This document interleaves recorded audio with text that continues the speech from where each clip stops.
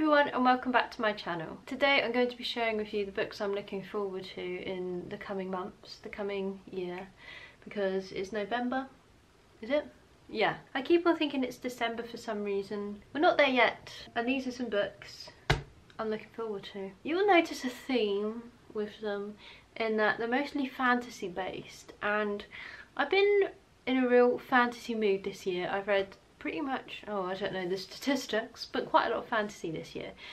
Um, I feel myself growing a little bit out of it again and back into like literary fiction, blah blah blah. I was reading that book I unboxed, what was it called? I can't remember. A Diary Blood, that's it. I was reading it and I was thinking, I am so bored. But anyway, whatever that's not this video this video is books that i don't know anything about. I mean books that are coming out soon.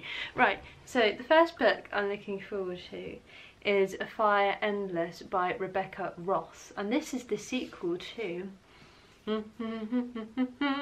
a river enchanted by rebecca ross. This is my limited edition Illumicrate version which is beautiful. What is this book about? Um, that's a good question. I read the blurb before starting this video to prepare myself. So, what this book is about, um, there's some girls that have gone missing in this island in Scotland. I can't say Scotland. Land of the Scots. It feels like it's set in medieval times, but I'm not sure exactly the time period. But um, yeah, it's in, an interesting setting. The only way to stop these girls from going missing, they think it's some spirits, is to get this musician back on the island because he was like, he was like, bye, I'm gonna study music on the mainland. And they were all like, what? Okay then. And he's a really good musician. He plays the harp, I think it is. Um, and I can't remember the like magic system in this, but I think music is a kind of magic in it. And as a, ma a magician, no, I'm not a magician. As a musician, uh, I really like that concept. But the main thing I like about this is the setting. It's beautiful, it's nature, love it. Um, you can't tell I like nature at all at this angle, but I've got a plant here, look. I like nature. Sure indicator there that somebody likes nature having a plant in their room. Next is, I can't remember, Hellbent by Leigh Bardugo. The reason I laugh is because this is also a series, a fantasy series, a sequel and yeah, something like that, of Ninth House by Leigh Bardugo. Have I read Ninth House? No, I haven't. But Hellbent is coming out on the 10th of the 1st, 23. Why did I say that so weird? 10th of January of next year. Um, so I need to read Heckin Ninth House before I read that. Uh, I might get it from the library actually because I can't stand having a paperback and then a hardback together. That just repulses me. What is Ninth House about? I don't heckin' know, but I know it's very um, hashtag dark academia. When I worked in Waterstones three years ago, it was all, all the hype, hashtag hype. Why am I so irritating? So, uh, I have no idea what it's going to be like, but the cover, I mean, just look at the cover. It's just exceptionally creepy and I love it. Okay, next up is, was that one, I'm going to try and do it in chronological order. So the next one is Gwen and Art are not in love. So, ever since, what was the name of the book? Oh no, I was going to make a really interesting observation, but I forgot what it was. Oh, that's it. Something is completely fine. Ella, right, okay, start again. Do you remember when Eleanor Oliphant is completely fine came out. I don't care if you know, but the title, character is this, or isn't this.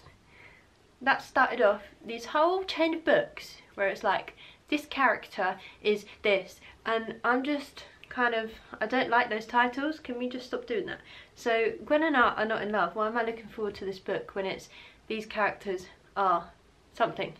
Um, because, and, oh man, I just feel bad now. If Lex Crouch is watching this, I'm sorry that the title doesn't swing it for me, but um, I met her at YALC and it was really cool. Um, and she signed my books. No, book. She didn't sign books. She sold it to me when she did her talk at YALC. She said this is a Shrek book. I think this is her Shrek one. I can't remember now. But anyway, anything that gives me Shrek vibes, I'm there for. So I'm looking forward to this one. That's all I know about it that it might be Shrek vibes. Okay, cool, excellent, let's move on. Next is These Infinite Threads by Tahereh Mafi, which is the follow-up book to This Woven Kingdom by Tahereh Mafi. This is an exceptionally beautiful edition. oh, dearie me. Naked hardback. The thing is, do I do I get the exclusive Illumicrate edition if they're even still selling it or have sold it? I can't remember now. Because, oh, it's just beautiful, man. So, oh no, now I have to explain what this book is about. So, we follow this girl there we go, that's what it's about. So, is this kingdom, or why is it called Woven Kingdom? Do they weave magic? I think that's how they, their magic system works. They weave stuff. Yeah, that's right. They, they do this and that's the magic thing, but I can't really remember how it works. Good stuff. So we follow this girl who is extremely overqualified for her job. Um, she works in the royal households as a maid um, there was a reason why she did that as well, but I can't remember what it was once again. Um, and anyway, what happens in this, I don't heckin' remember. Um, it's like a fantasy romance, that's all I'll say. But what even happens at the end of this, God knows, don't know. This is actually a good time to read this book because it has snowy vibes in it. How many times am I going to say vibes in this book? So it'll be interesting to see where it goes once I remember what happens in that one. The next one is A Day of Fallen Night by Samantha, Samantha, no, Samantha Shannon, which is the follow-up book to, what is it? The Priory of the Orange Tree by Samantha Shannon. So, you know what's funny about this one? I haven't heckin' read The Priory of the Orange Tree, no, A Priory of an Orange Tree either. But you know what, I'm still looking forward to it. I'm looking forward to having a good time, but again, I might just, oh, should I get it from the library? I might get it from the library again. But I feel like I want these ones. I feel like they're going to be special to me. So maybe I will buy the paperback and then read it in hardback from the library, and then when it comes out in paperback, I read the paperback. That sounds far too complicated for my brain. Yeah, I don't know what it's about. I know there's dragons in it, and that's about it. Uh, to be honest, I'm fully enticed by the book cover, not the plot, because I don't know what the plot is. So yeah, but I'm still looking forward to it. I'm looking forward to having a good time. February is looking pretty damn good for book releases. The next book is In the Lives of Puppets by TJ Klune. I've only read one TJ Klune book, which is, can you just see it? Where is it? It's there. Uh, there. Can you guess what it is? It's the house in the Cerulean Sea. Is it Cerulean or Cerulean? Because I pronounce it Cerulean, but I'm not sure that's how you're supposed to say it. Anyway, I really enjoyed that. It's very much like an adult book, but with a fun, happy kids vibe. Um, vibe, oh my god. I'm just gonna quit YouTube now. I hate myself. What's this book about? I don't know. But that damn cover yes please, thank you very much. I feel like with TJ Klune books, from my extensive knowledge of their books, is that the cover kind of summarises the setting in a very neat way, in a very representative way, as how one envisages it in the book. Oh my god, I didn't even stutter for like a whole sentence. When I look at this cover, I'm like, yes please, I want to live there, thank you. In my head, I, I've come up with a book idea and it's very similar aesthetics to this. So if it's the book I'm thinking in my head that I want to write, I'm going to be really annoyed, but I'm hoping it's not. And I don't know anything about it. Who are puppets? I don't know. And the last book, why am I doing this? The last book is the Shadow Cabinet by Juno Dawson, which I think comes out the 23rd of May of next year, but I'm not entirely sure. It seems a bit um, confusing with that one, which is the sequel to her, what is this? her Majesty's Royal Coven by Juno Dawson. I just love this cover. Just look at that. That is, oh man.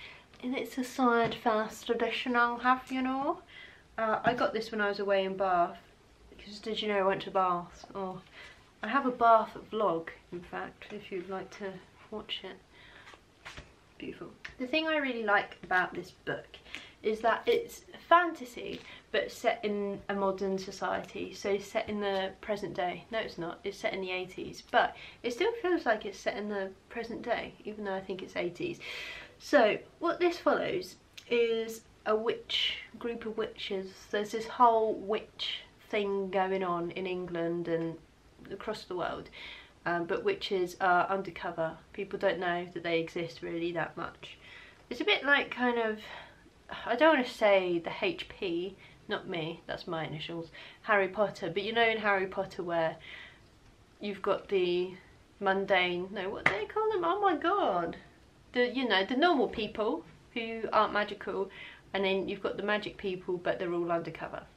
There we go. Why did that take me so long to explain? So it's that kind of thing here. And we're following a few different characters, women, mostly in their 30s, um, navigating this world. And one of them is like the leader of the coven, I believe.